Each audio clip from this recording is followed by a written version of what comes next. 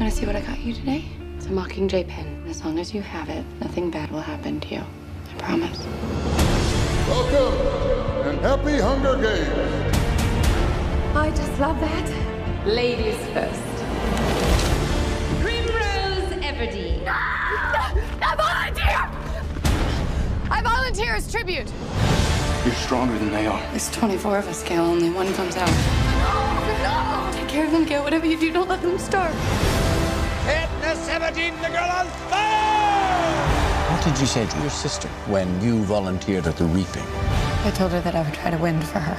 And try you will. I just keep wishing that I could think of a way to show them that they don't own me. If I'm gonna die, I want to still be me. I just can't afford to think like that.